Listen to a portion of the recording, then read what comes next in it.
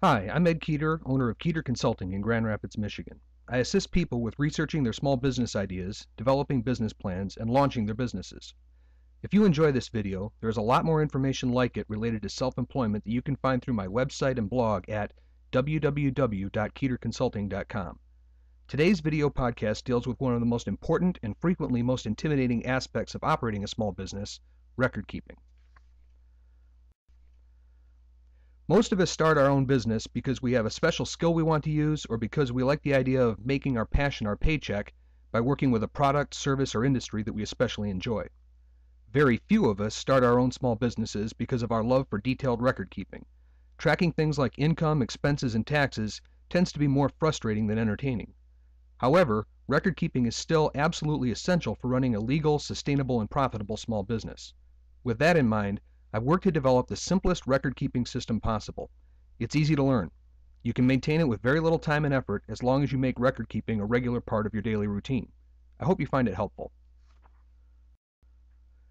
There are two ways of approaching record keeping for your business. The first is to focus on only the bare bones minimum amount of information you need to record in order to remain in good standing with the government. That's fine, but a bit short sighted. With a very small amount of additional effort, you can capture incredibly valuable data that will help you to identify ways to improve the stability and profitability for your business. More on that in a moment. At a minimum, you need to record all of the income received by your business, the expenses incurred by your business, the amount of sales tax you've collected if you sell goods that involve sales tax, and your vehicle business mileage information. Depending on the specifics of your business, there may be a few additional factors, but for the vast majority of us, these are the critical elements. If you are a customer of Michigan Rehabilitation Services, the Michigan Commission for the Blind, or the Department of Veterans Affairs, and one of those agencies is assisting you with launching your business, you'll also need to record your net income from the business on a monthly basis for them for some period after launch. As I said, since you're already required to track those things, it's a simple task to dig a little deeper to help better understand where your money is coming from and where it is going. This can help you to identify inefficiencies and underexploited opportunities which can improve your overall profitability. If your business offers more than one type of product or service, it makes sense to look at a couple of different factors. First, which products or services do you sell the most of? If you're a restaurant, are you selling two fountain drinks for every one bottled drink? Do you have any products or services you provide that aren't purchased enough by customers to justify the time, cost, and effort of keeping them in your menu or catalog? Next, what are your per unit profit margins on each of the things you sell? Which things are most profitable to you? Which products or services require the most time to manufacture or provide? This helps to key in on underperforming products or services so you can either refine how you make or deliver them, adjust how you price them, or eliminate them from your listed offerings. On a tangentially related note, tracking your income and expenses lets you spot potential cash flow problems where bills come due before the revenue needed to pay them is available. This also helps you to compare your projected performance against your actual performance. The system I've put forward is as straightforward, common sense, and plain English as I know how to make it. Whether you use it in a hard copy format or electronically on a PC, it all comes down to a set of eight folders and one calendar. The folders are for your daily checklist, monthly money in log, invoices, set aside worksheets, monthly money out log, receipts, monthly vehicle mileage log, and blank forms for making fresh copies as needed. The daily checklist is exactly what it sounds like a checklist of all the activities you need to do each day from a bookkeeping standpoint. It also has a notes section to let you keep a journal of basic questions, ideas, and observations throughout the year that you can use for quarterly or annual review to help refine your business processes. If the checklist is completed each day, you know you're on top of your records. The Money In log is a monthly log tracking all of the income your business received during a specific month.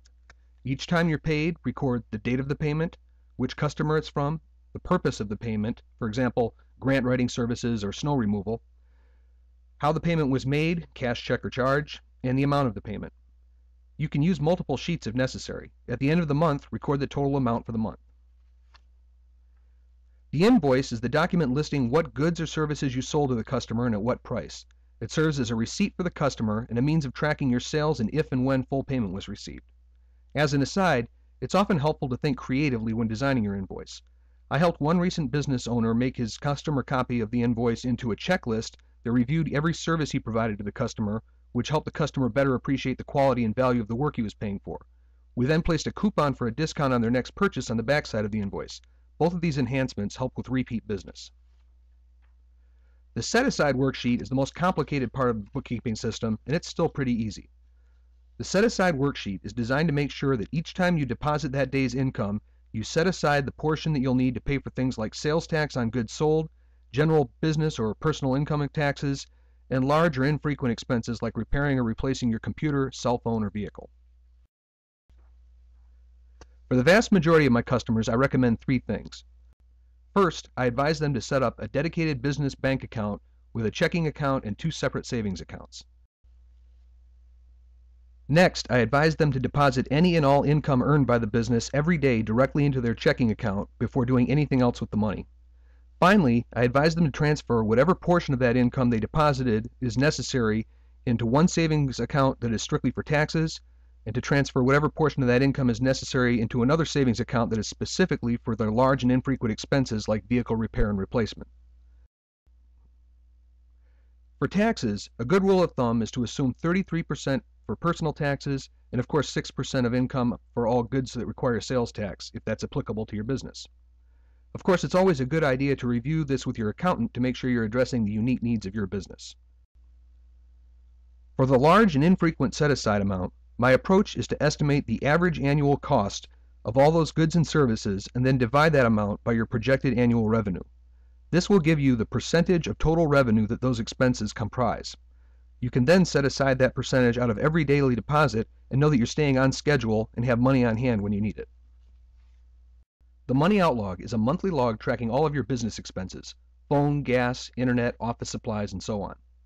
Each time you purchase something, record the date of the purchase, from whom it was purchased, for example, OfficeMax, what was purchased, for example, a website hosting fee, how payment was made, cash, check, or charge, and check number if you used a check, and the amount of the payment.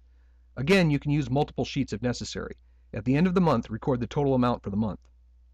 I can't stress enough how important it is to hang on to your receipts. In my bookkeeping kits, I include a large envelope for my customers where they can immediately place receipts after making purchases. If your business makes a lot of purchases, setting up separate monthly or even daily or weekly envelopes can help stay organized and keep the receipts manageable. The mileage log is yet another monthly log that is exactly what it sounds like. This log is used to track business travel. Simply record the date, destination, and purpose of the trip, and the starting and ending odometer readings. Multiple sheets can be used for each month as needed. I recommend tracking each month separately from the others, however. One frequent challenge that people have is tracking mileage when their business travel is interspersed with personal travel, things like errands and ferrying kids to school and back. A good workaround here is to use a tool like MapQuest or Google Maps to calculate what your business travel would have been if you had not added on personal travel as well. Keep in mind that your business expenses and your business travel log should match up perfectly. Don't get into a situation where on June 2nd your mileage log said you were in Ann Arbor while your money out log says you had a business lunch in Lansing. And that's it. The key to keeping your record keeping running smoothly is to tackle it every single day. Updating your money in, money out, set asides, mileage, and other information is pretty easy and it only takes a few minutes when you do it in a timely manner. It's when you let the pile of receipts and paid invoices pile up for a few weeks before dealing with them that things get lost and information gets mixed up. Save yourself the headache and handle your bookkeeping as soon as possible.